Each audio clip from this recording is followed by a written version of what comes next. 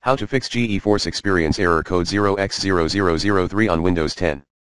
Here are some tips that may help you with the GeForce Experience error code 0x0003 on Windows 10. 1. Fix the NVIDIA telemetry container issue. To do so, open NVIDIA telemetry container service in services.msc. Enable allow service to interact with the desktop option under the local system account option. Make sure that the following IP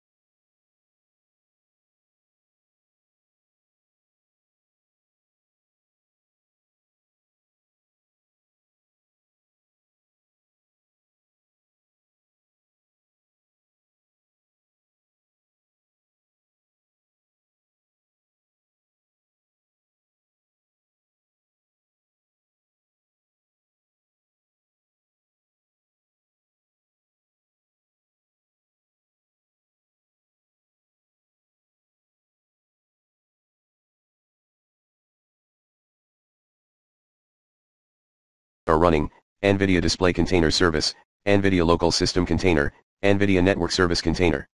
2. Remove all the NVIDIA related components, using the recommended uninstall tool pro in this video guide, reboot your system when the uninstallation is done, then create a new admin user account. 3.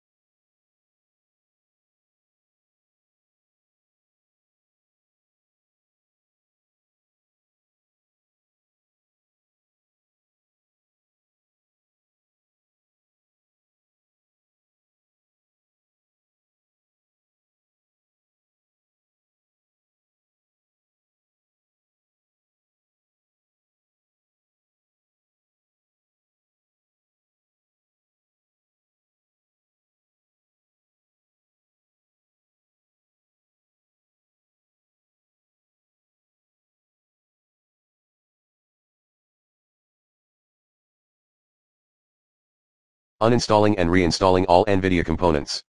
4. Resetting network adapter. To do so, run the following command as admin, netsh winsock reset 5.